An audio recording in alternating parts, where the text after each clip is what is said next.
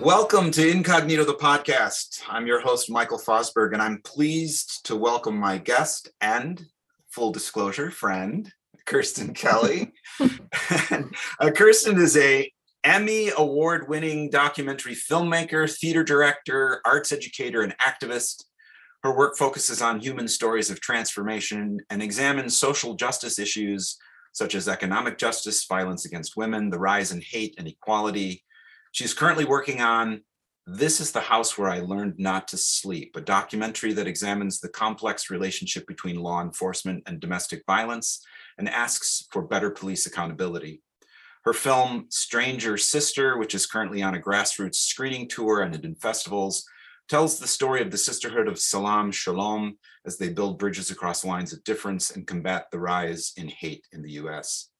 Her Emmy winning film, The Homestretch, follows the journey of three homeless high school students in the Chicago Public Schools as they fight to graduate she has spent the last several years as senior producer at Odyssey Impact, where she produced media impact campaigns that brought together multi faith and secular communities together to address social justice issues. She's a graduate of the Juilliard School and was awarded the 2014 President's Committee on the Arts and Humanities National Arts and Humanities Youth Program Award by Michelle Obama for her work on CPS Shakespeare with Chicago Shakespeare Theater she lives in Brooklyn with her husband, 10 year old son, and overly active Belgian Shepherd. Kirsten, thank you so much for joining me in this conversation. Thank you, Michael. It's a joy to be here and weird to have you read that. yes, I want to ask you about that. I do. I, I so how does it feel to to to hear your bio? Um, you know, I was just listening and saying, oh, I, you know, it sounds like an insane person hopping all over from, you know, medium to different medium, from town to different town. it's sort of like how how you quilt together a life, I guess.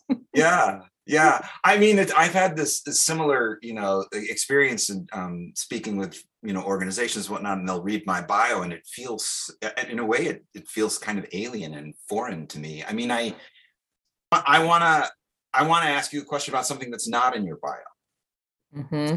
And because we've known each other for a, a good while now, I want to ask you about Calvin, about Calvin College. Yeah. Um, now Calvin University, strangely enough.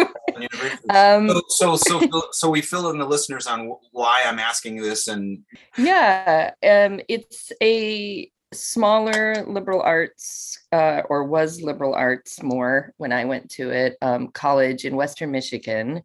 Um, it is it leans very heavily um, Dutch Christian Reformed, evangelical, and sort of is in you know Western Michigan, which is Grand Rapids, I believe, is one of the cities that has the most churches per capita.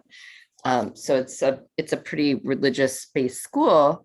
I found myself there because I was recruited to play basketball. So I did not grow up, up necessarily in that reform, you know, Dutch Christian reform tradition and grew up in much more of a what I would call like a Garrison Keillor Lutheran kind of um, country church. Um, and so it was quite a shock to arrive there and have, you know, I would say at least 80 to 85% of the student body was this one thing. And they had all gone to Christian schools and had, you know, really, really deeply been part of this community. So stepping into that was a lot of confronting that sort of fish out of water, outsider kind of perspective.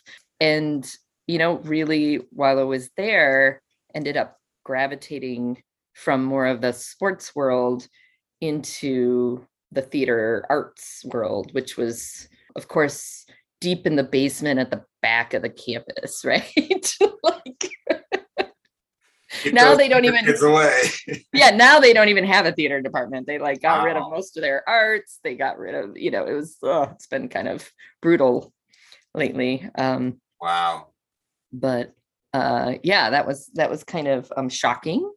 But I ended up staying and and loved so many of the community that I met there. Yeah. Yeah. And did you, I have so many questions about this because um, you graduated from there. Mm-hmm. Did you feel when you first went, because as you mentioned, eight, about 85% or so of the people, the students there were a part of that community, did you feel like an outsider? Totally. Yeah. And you know, my family had mm, and the community, the rural community I grew up in, we, you know, we had very different rules. Uh-huh. You know, not as strict. Did not know the Bible in the way that these other students really deeply were sort of entrenched in that their whole sort of Christian school lives. Mhm. You know, and so spent kind of that first year really examining just feeling like a sinner, you know, like like you know, we danced, we drank in our family, we, you know, did these things, you know, and sort of just a coming of age reckoning. It was an interesting layer to that for sure.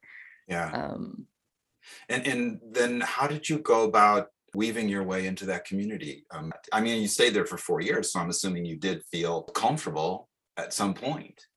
yeah, I I think, you know, I always had an activity to base that on. I think Yeah. whether that was, you know, for the first two years, it was really that basketball team and, you know, you were just immediately part of something. So that helps. And then, you know, I'd always done theater as an extracurricular activity in um, when I was growing up. And I just kept my f- toe dipped in there and then realized I couldn't do both. And Mm. I just really loved so many of you know the theater community there and they were talking about ideas and storytelling and pushing at things and and that just felt like a more comfortable and exciting place to be for me It's interesting because I think oftentimes um, people who gravitate to the arts, uh, whether it's the performing arts or visual arts or whatever, often consider themselves as outsiders, and so they find that community to they can then be part of something, and then they feel not so much as an outsider. Um, you know, I, I mean, I, I don't want to har- keep harping about the bios, but I it's interesting because as I mentioned earlier, I often am confronted with the same thing when people read my bio, and then after I hear it, I'm like, oh my gosh, that, that sounds so strange and alien to me. And, and it doesn't really describe who I am, I guess. Mhm. It's just it describes what I've done. And generally, when I come into a space, it's really important for people to know who I am not so much what I've done. And I'm I'm not a big I'm not a big therefore I'm not a big fan of bios. Mhm. but I I guess I would want to know if you were to describe you, who you are, the core parts of your identity. What what would those be? Hmm. you know i think it's interesting because i i'm getting to your question here but i want to frame it by saying i think it's interesting because and i think what we do the way you frame your bio often precedes you and allows you the the place or the space or the authority Yes. to get to the the deeper things of like what are the values uh, that you stand for or with or on? Certainly when you add you know a title or a school or an award or whatever it it contextualizes you. So you're walking in with that context. And you know i always ask are people listening differently because of that context? As opposed to like when you're not you know of course it's the reason you, you're invited to a press show or you know panel discussion or something but you know you have to kind of almost backdoor your you know where you want to get to or backdoor you know who you are authentically right Yeah, and yeah. i think that as they get older maybe getting better at that or you know that thing that i think most people go through where you don't have to prove yourself that much anymore Mhm. um why you know like not just because of the the projects or the awards or whatever but it's it's just the comfortability with yourself i think But you also have this wealth of experience, and that's what, like you said earlier, that that's really kind of what your bio is allowing people to see that you have the authority to speak about this topic or to um, work on this piece because you've done all of these things that have led you to this place. Uh, Mm-hmm. and then I think you're right. I think that sort of gives us like sort of an opening for okay, now that you you you have some idea of what I've accomplished and why I am, shall we say, an expert in this field. Let's talk about me. Let's talk Mhm. about you. And I guess you know, leading right in, how how do you go about doing that? You know, you're starting a project. You've got all these people coming in. They you're just meeting them for the first time. They know what you've done, but they don't really know you Mhm. how do you how do you create that bridge I mean, I think it uh, comes back to me a lot with gravitating towards telling stories or examining people's journeys and how, in those conversations, am I coming to that. Um, with my point of view and gaze and life, and and someone else, how are they coming to that issue or that story? I keep coming back to, on this recent film that I did, Stranger Sister. There is a phrase that keeps playing in my head that um, they were doing a conflict resolution workshop around the Israeli Palestine conflict with Muslim and Jewish sisters. Mhm. And one of the phrases that the workshop leader kept coming back to was it's difficult, but we need to come to this with our armor down Mm.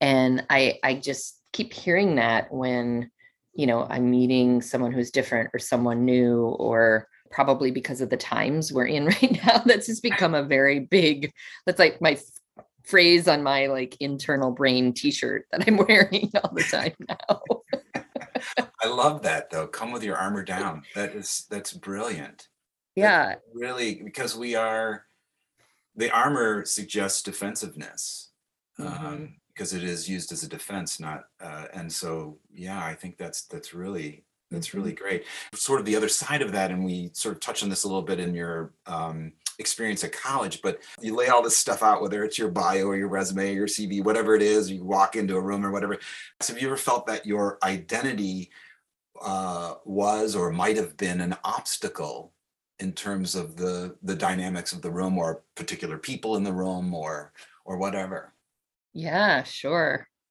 I mean, uh, you know, I think about that in with in kind of two layers.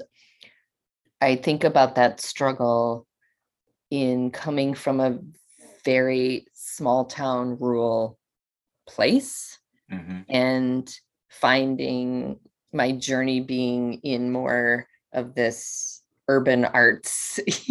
You know people are like how did you get to brooklyn?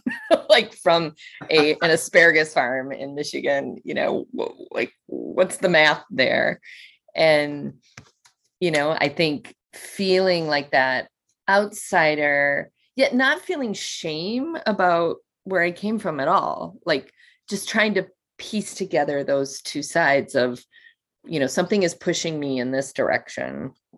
This is who i am from in what i bring to something and oftentimes feeling inferior or feeling that that smaller town role perspective might not be as valued Mm, you know when you're working with artists who went to fancier schools or had opportunities to study their art from when they were little or know a lot more about the world so coming to a place where that doesn't have to feel in you know inferior Yeah. is a journey i think a journey and then also as a female director right coming up in a time you know a few generations ago where you know things some things are better now and i love that um Yeah.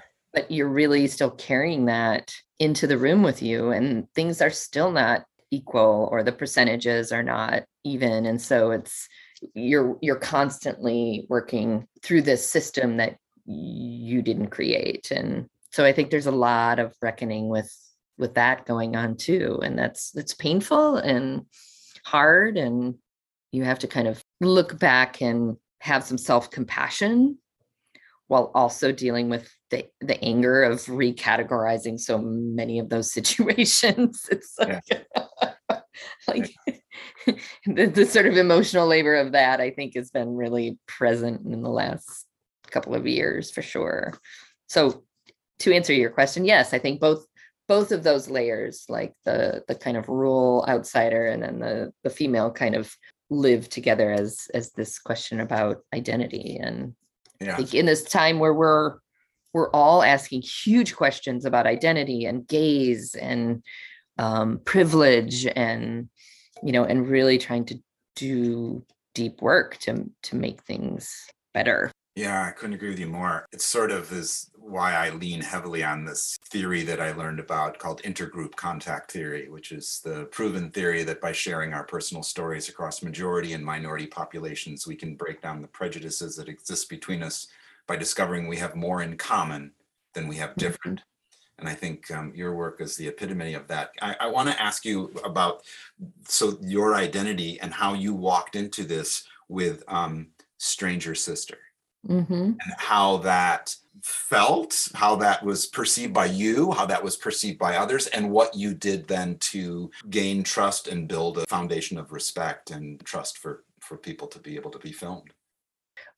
you know i came to that and you know with my collaborator and partner on that uh, katie tabor who's a longtime um, friend we were really looking for a project together and we both kind of gravitate towards women centered stories unrepresented underheard stories. So when what was feeling like in the sort of chaos time of the 2016 election and not just to say about who won that election or not won that election but just you know so much of these kind of values about how people are treated and equality were getting really squashed on it felt like for women so we found this the story about the sisterhood of salaam shalom big new york times article um, we were like, oh, this is just at least a story of hope. Let's make a short film if they'll work with us.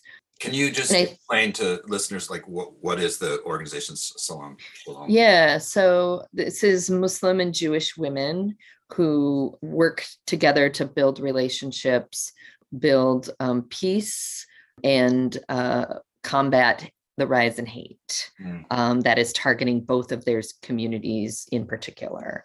Um, so, huge rise in anti-Semitism, huge rise in Islamophobia, and so it's really that work has been about intentional relationship building within communities um, to be able to stand in solidarity with each other. And it was just, you know, so beautiful to read that story and you know we we approached them and then also feeling like okay full disclosure from the get-go here and with sheryl and atiya who co-founded you know katie and i are neither muslim or jewish right. and i mean i married a jew who's mostly not practicing but Same here.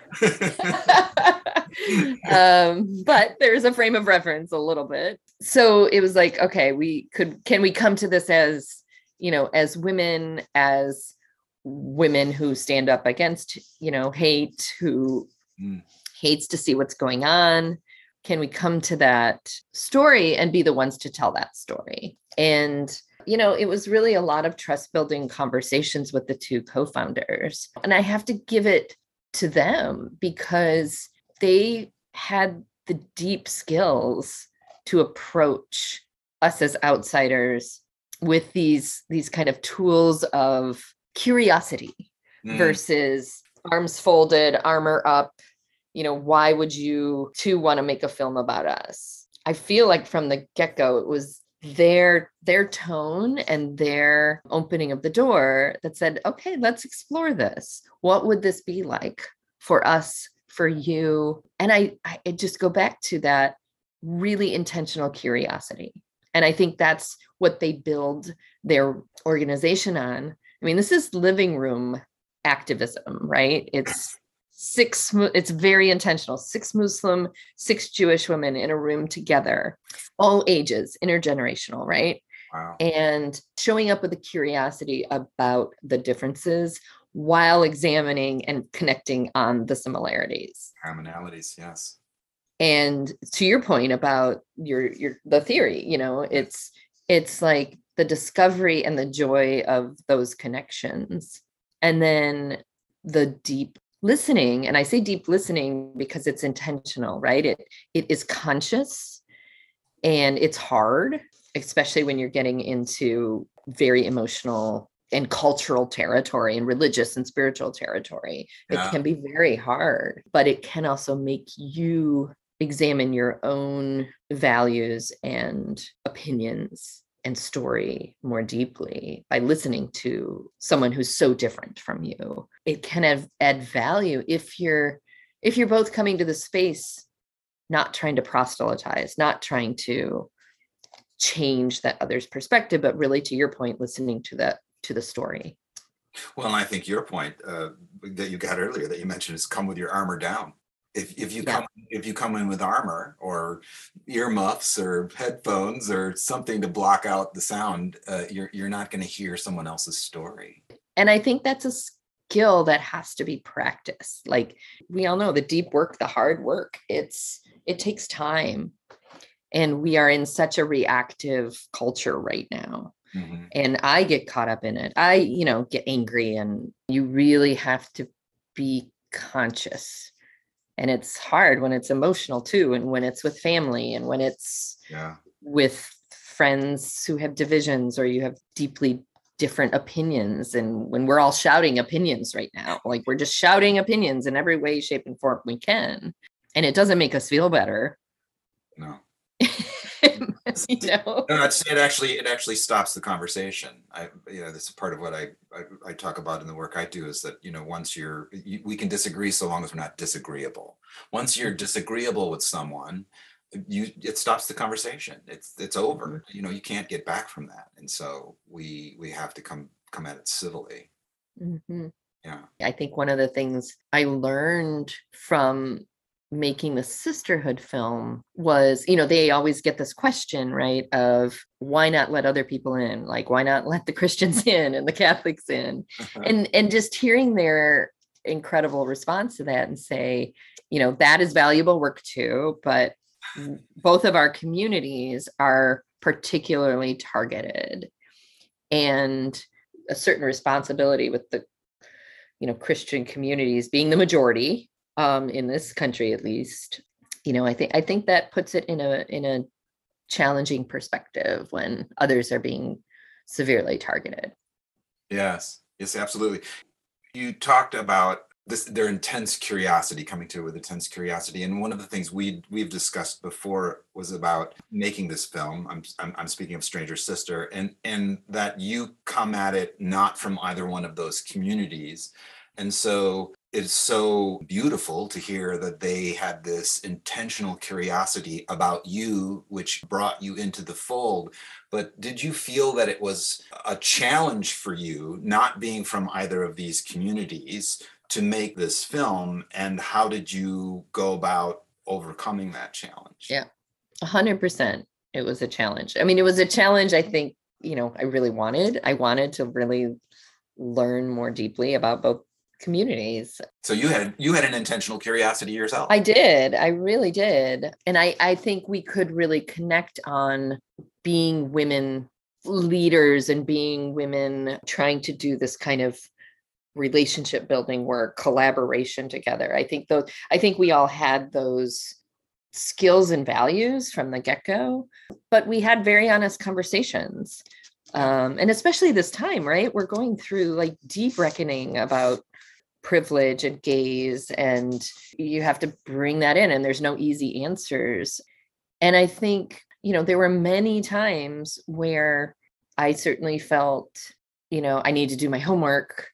I i i don't want to be stupid in a situation. I don't want to offend someone. I don't want to come at this with wrong you know intentions. I i was very conscious of not being from the communities and then specifically in, in really being super upfront and saying i do not have the context or a particular frame of reference or opinion for the israeli palestine conflict. And that is so much a part i mean i'm saying that at the beginning of the film right? Just to be honest. Yeah. And i i can come as a listener and a curiosity and i know that there is intense strife around this and I and you know we kept asking this question: Can the perspective of a, an innocent in that situation, and like as a director, I think you often have to play the innocent, play the audience going through that mm-hmm. story for the first time. So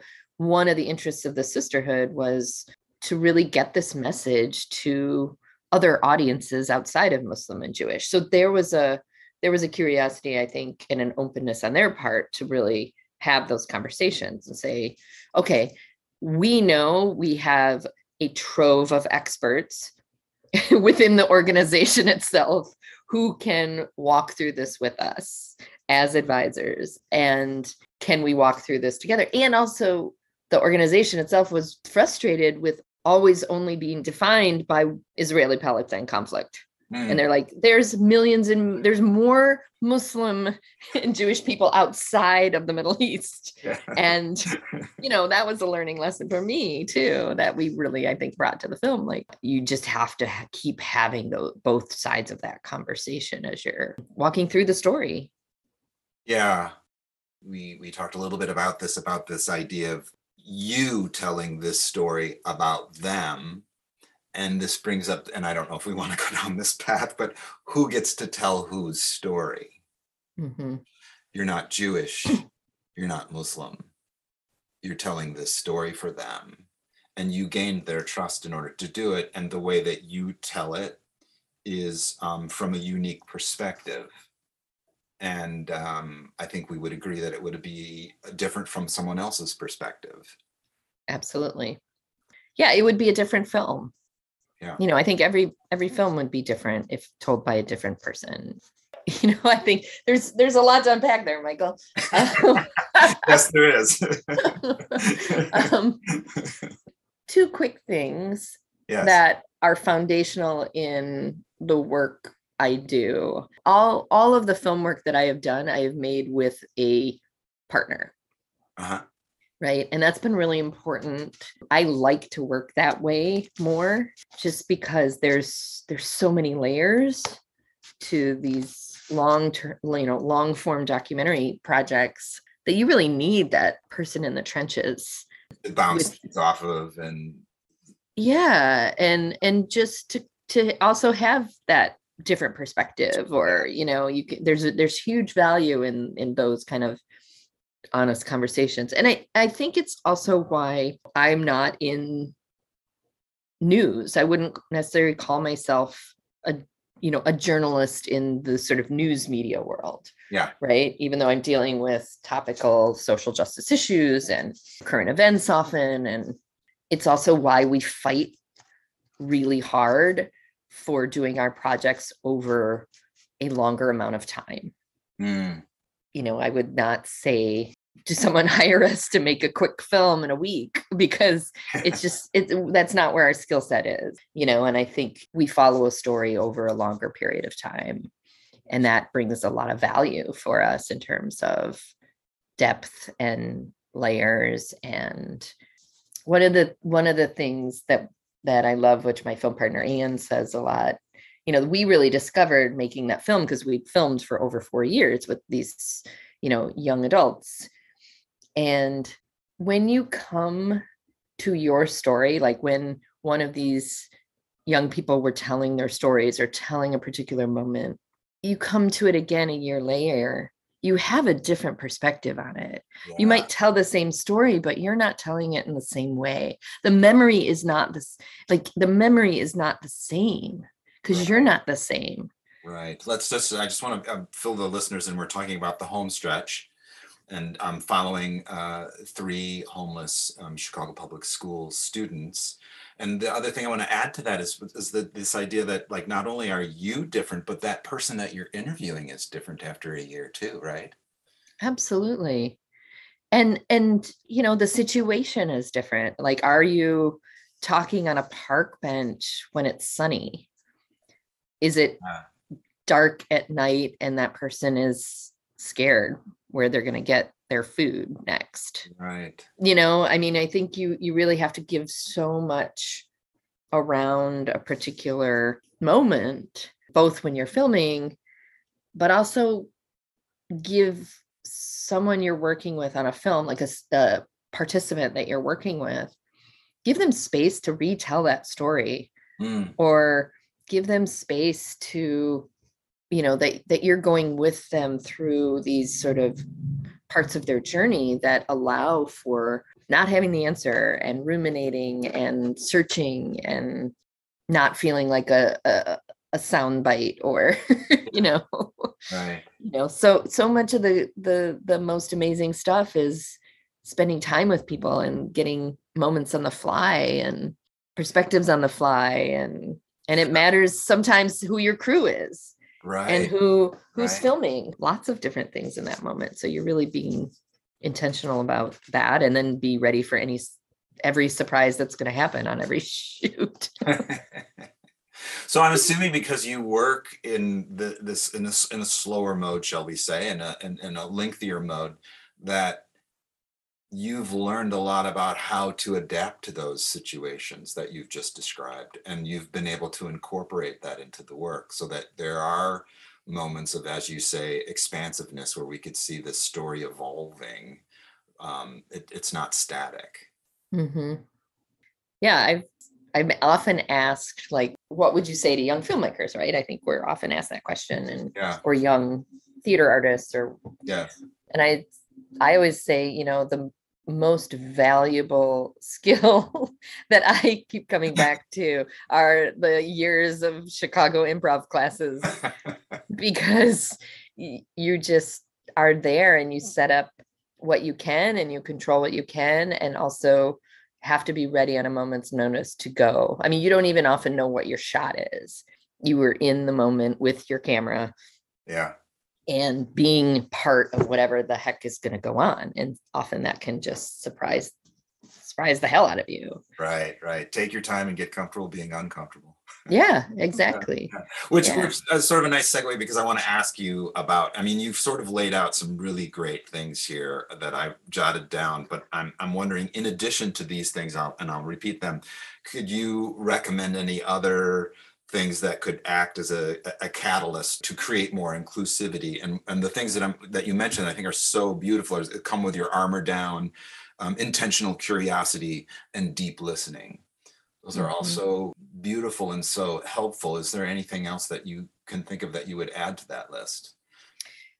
i've been thinking a lot about play lately Mm, and how that's connected to joy and spirituality if you're spiritual or life as you're as you're living it um you know i think we we've been talking so much about like work and what is work now with covid and you know working from home and working this and economic justice and the idea of work shifting and to zoom and all these things.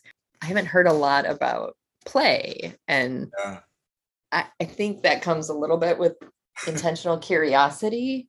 Uh-huh. but you know we had this moment where during the edit of Stranger/Sister we had a executive producer watch one of the cuts. And granted this was you know his his background was news and much more like um and one of the notes was can you make them laugh less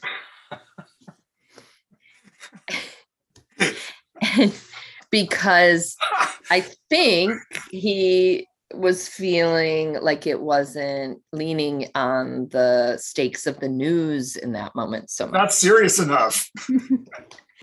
You know, and I'm not trying to make fun of him necessarily. no. It just, but just was, it was a gaze thing. And it was like, Yeah. no, we can't because this is how people connect. And I think about that in terms of opportunities to play or to joke or just be together in a way that is healthy but a little impish. I like yeah, and and I think that there's real value in that because what's what's a way you can more quickly connect than having that shared moment of laughter or Ah. Activity of play or Absolutely. you know you're out with your dog and in the dog park and it's like everybody's levitating a little bit with Yeah. joy at those Yeah. at those moments and and i think that's i think that's really important and it's not it's not saying, oh, we make light of it, of all the other stuff. It's just, it's just needing to get through these moments with that and intentionally putting that into your life, putting opportunities that you you bring play into your life. I think that's beautiful. It's absolutely beautiful. And so it kind of leads me to the last question I want to ask you, and that is can you recommend a book, a movie, a play, or something that has inspired you recently and uh, tell our listeners why?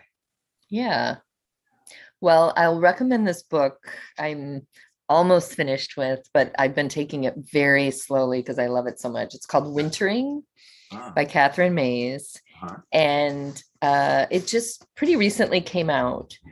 And I think it's hitting this this vein of need right now because we're kind of coming out of this deep long hopefully coming out of this deeper long winter of covid yeah. of our lives just having the rug pulled out from under it and in this time of winter too and it's really a surprising wonderful book looking at the necessary time to winter and that becomes like a verb or i guess it's huh? is, is, that a gerund? I, I can never know what a gerund is. It's like but wintering as an active ah, choice. uh, yeah that's right.